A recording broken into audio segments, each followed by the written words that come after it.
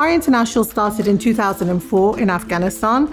At the time, Lars and myself were working in Kabul. I was volunteering for the UN, and I realized that for every single project that was required, there were at least 10 to 15 people involved in different layers of decision making and delivery. And there was such a volume of services needed to support the United Nations at the time in Afghanistan. They needed services such as catering, they needed supplies, they needed procurement, they needed generators, they needed fuels. So we started RA International to respond and provide a one stop shop for clients who wanted particularly difficult hybrid services in remote locations. And we did the first job, which was a $2,400 generator that was required by a client. And it was required in a very remote location, 3,000 meters above sea level. We now fast forward 15 years later, and RA is a company that has got over 2,000 employees. We have operated in 15 countries, delivering over $500 million worth of projects. The projects are ranging from infrastructure projects in Central Africa Republic all the way to support projects in Denmark, which is slightly further away from our norm. But as a company that provides solutions for complex projects, we go where the clients want us to go. We've defined our space as remote site service providers. You know, we speak about remoteness as a geographical position, but also political position. So whereas uh, a remote mine in the north of Sudan is geographically remote, Mogadishu it's politically remote because of the conflict and the, the political disturbances that are there. We're one of the few that can actually operate in these ones, and we're definitely one of the only ones that can offer the full service breadth of what we do. This sets us apart from the competition, and that's also one of the reasons the United Nations recognizes us as an essential service provider. We operate across three service channels uh, integrated facilities management, construction, and supply chain. Uh, so within integrated facilities management, we're either servicing infrastructure or we're servicing people through the provision of life support services. From a construction perspective, uh, we're building accommodation, commercial facilities, warehouses, uh, and infrastructure such as runways and roads.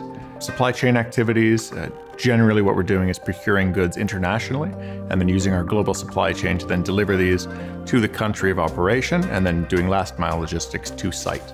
Integrated facilities management makes up almost 70% of our order book. Uh, it's high quality revenue, it's the highest margin service that we offer, and it's growing consistently.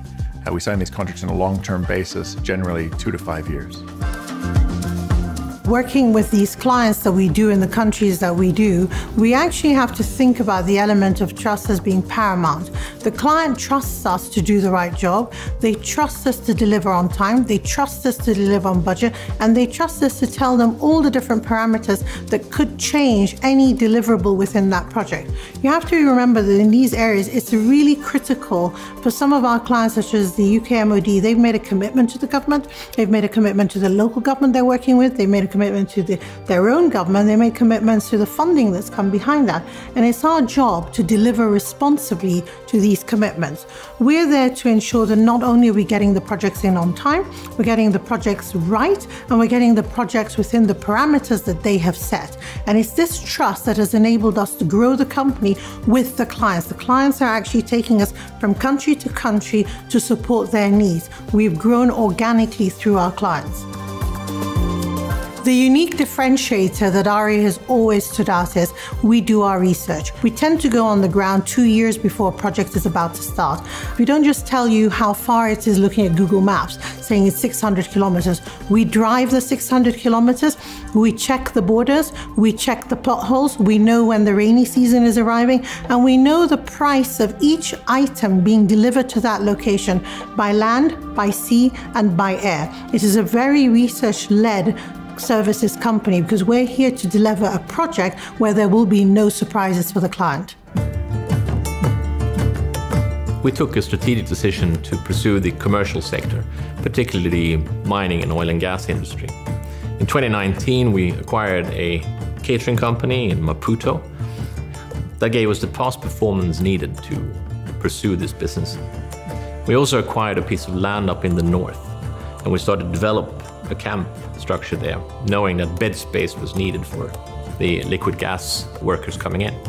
Cabo Delgado is a conflict area. It also is hampered by natural disasters, and on top of this, a COVID lockdown. But we persevered and we built our camp. landing us a contract worth $60 million uh, that we announced in, in August this year. So while having pursued the, the oil and gas and the mining companies for a while, they've recognized that what we can offer them as a one service solution uh, is exactly what they need. Uh, and the fact that we can do it in the most remote areas under post conflict situations is also recognized as a strong point. This is one of the largest investments in, in Africa. Uh, we estimate that there will be a need for around 25,000 bed spaces in Cabo Delgado province. RA International is building the first super camp in the province. What we're normally asked to do for clients, and you know, what we're very good at, is coming in and offering this one supplier model, which is constructing facilities, servicing those facilities, taking care of the people who, who live and work in those facilities, and then also assisting them with whatever their needs are through our global supply chain network. Uh, so we've been advocating this model for quite some time. Uh, we see it um, offering benefits to the customer regarding accountability and also cost savings. An example of the one supplier model is Danakali, uh, who approached us asking us to construct them a facility and then also service that facility and provide life support services to their staff and the staff of their contractors through the two year construction period in Eritrea. That contract was awarded in August, and it's leading to a number of new inquiries from minerals companies looking for the same model. Sustainability is part of the company's DNA. It's in our culture. We started looking at the United Nations Sustainability Development Goals. And we identified three of these where the company had a direct impact.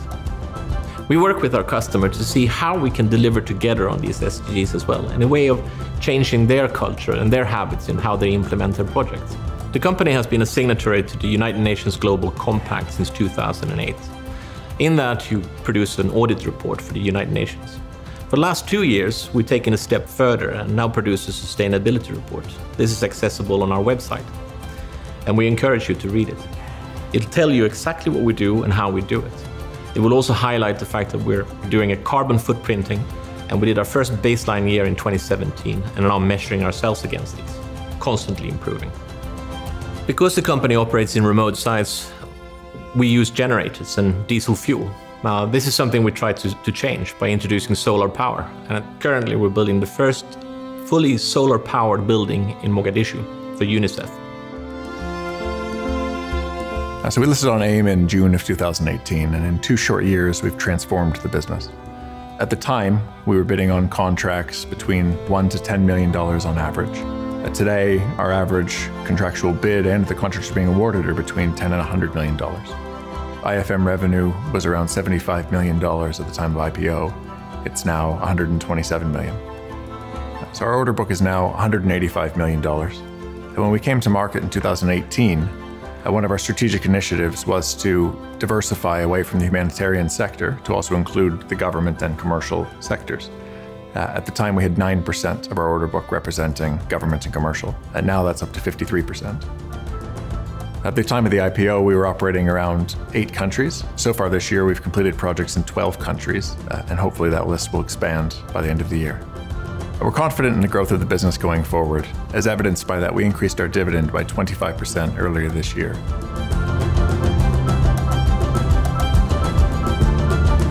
Bringing the company up from the first $2,400 order to where we're sitting today with an order book of about $185 million is quite an achievement for the whole group. RA is growing in the humanitarian sector, we're growing in our governmental support work, and we're also growing in the commercial sector. We're delivering on our growth strategy. We're delivering profits every year, and we have fantastic contract momentum.